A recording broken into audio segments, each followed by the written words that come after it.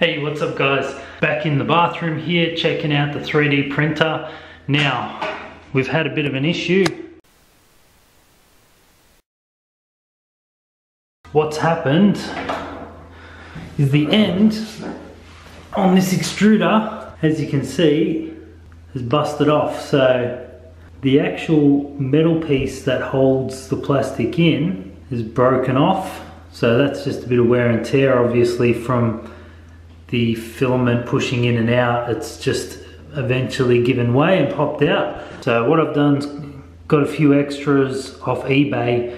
Now they're only a couple dollars each, so it's good to, when you get a 3D printer, just to have them handy, have a few extras lying around in case something like this does happen. So what I'm gonna do is unscrew it. Now,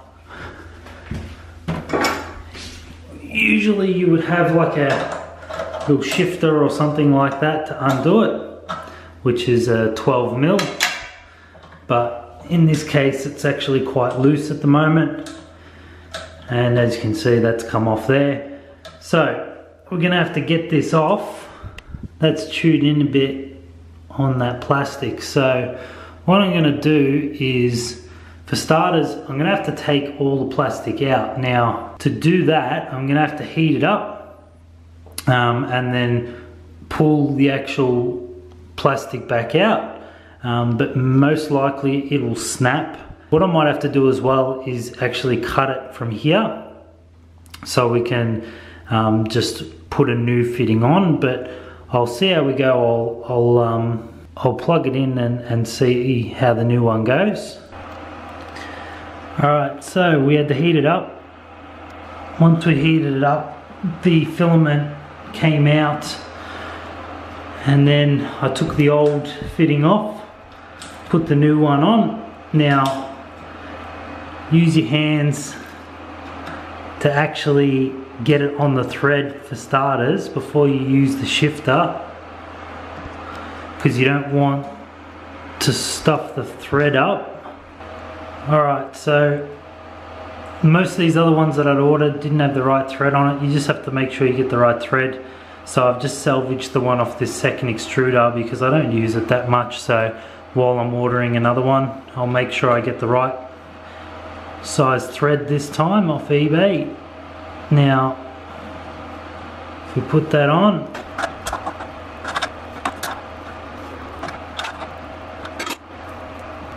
we can pop this in the top. Now, it is a little bit messed up, so I'm going to clean that tip off and uh, push it into the top here. Alright, so now we screwed this on. I've pushed the plastic tubing in to that fitting. So it's hard to actually pull out now, which is good. And then what we want to do is get the plastic and thread it up through now because all this has come out, it might be a little bit more difficult, but in worst case, pop this fitting off, feed it up through, and then put it on the other way. So you should be able to feed it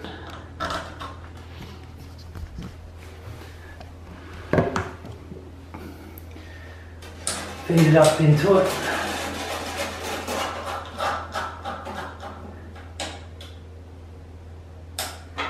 And then screw this back down on the top.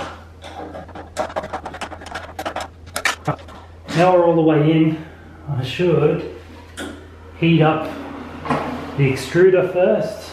Right now the bed's clean, I'm going to push this filament in and as it gets into the extruder, you'll start to see it'll start to come out. And now I'm gonna tighten this up on the back.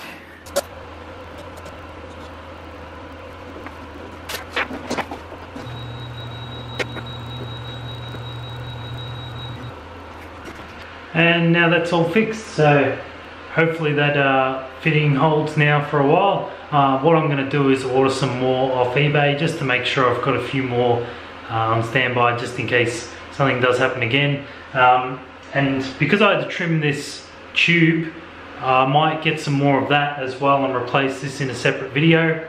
Um, and yeah maybe replace a few other things because it's as you can tell it's starting to have a bit of wear and tear.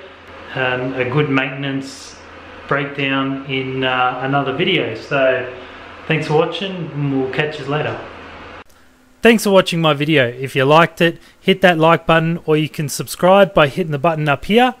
Now I've also got a couple more videos up here on this side and I've also got my cryptocurrency channel over here so go check that out. But thanks again for watching and we'll see you next time.